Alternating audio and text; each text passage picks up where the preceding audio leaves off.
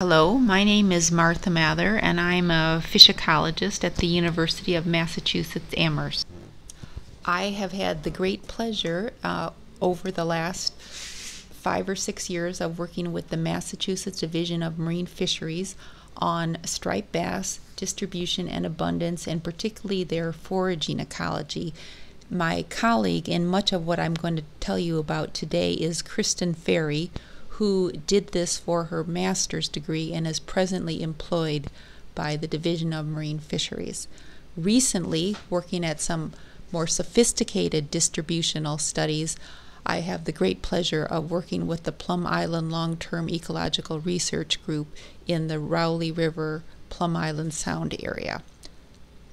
Today, I'd like to tell you a little bit about some of the initial work we did on generally how are they distributed, some thoughts on migration, habitat use, and foraging.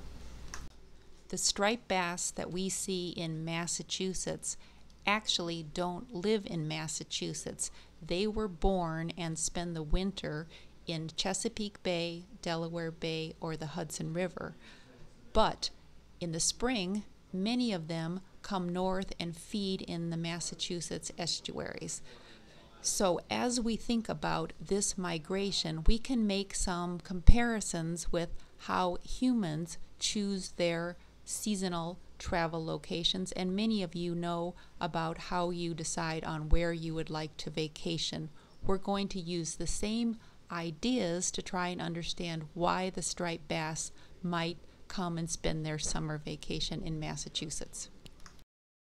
So, as we look at this map of what we call the coastal migratory stock of striped bass, we can see that there are three primary spawning locations the Chesapeake, the Delaware, and the Hudson. Typically, we think that most of the migratory stock, that would be the fish that are found in the ocean, are coming from the Chesapeake Bay. Often we say 80 to 85% are from the Chesapeake Bay, about 15% from the Hudson, and the Delaware is just starting to come back. However, these percentages do change across time. All of these fish, however, will come out of their spawning areas and come north, and we see them in Massachusetts around May or June. We don't really know why they migrate, but we think that it has to do with feeding. We think that these fish are moving north and staying off of the Massachusetts New England area because there is abundant high quality food. And so we are testing some ideas about the feeding choices that the striped bass have in New England. As we think about why striped bass might migrate, we are interested in conditions that might help them to be large. Growth is very important for fish, and one factor that is very important in influencing a fish's growth and size is temperature. This is important because fish are ectotherms. That is, their body temperature is the same as the water temperature, and this temperature affects how much food they can eat and how fast they can grow. So, as we think about what areas they choose to come to vacation, we need to think about what temperatures are good for them, what temperatures are not good for them, and so we'll talk about what temperatures are important to a striped bass. As with all fish, there are certain temperatures at which they do better, grow faster, are more comfortable and hence may select in the field. And these temperatures will change seasonally. So, what we have shown here is results of a laboratory and a field study. In the laboratory study, people have shown that between 54 and 77, the fish can grow quite well if there is adequate food. They have also shown in the field that very often the fish will select temperatures of 72 degrees.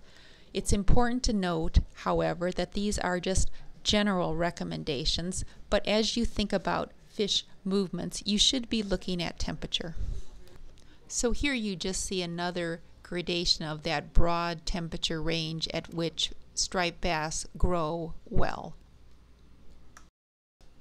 So what Kristen and I did was put continuously recording thermometers in many estuaries along the Massachusetts coast, and we got a seasonal record of how warm or cool the estuary was.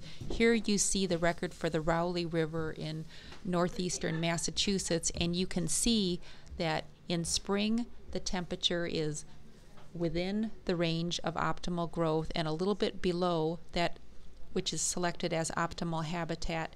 In the summer, it's still within the range of optimal growth, but in late fall, it does start to get uh, too cold. I think from the Rowley River, we do conclude that it's a pretty good thermal environment for the fish. We see a very different pattern in the Westport River, which is in the Buzzards Bay area in South Massachusetts. We see that very often in the summer, the temperature is too warm for growth, and we think that this very likely affects where the fish are and how they grow. One of the things that Kristen Ferry did for her master's degree was in 13 estuaries along the coast. She collected striped bass across three seasons and looked at what they were eating. And the technique that she's using here is called gastric lavage or stomach pumping. So this fish has been anesthetized, so it is still alive, but it is not moving on the measuring board. And she is inserting a tube into its mouth with water, and this is causing it to regurgitate or throw up its meal in the white bucket to the side of the fish, you can see what it just recently ate. The very nice thing about this technique is very shortly after this process, the fish will awake from its anesthetic and it will be put back into the estuary and it will swim around to feed another day.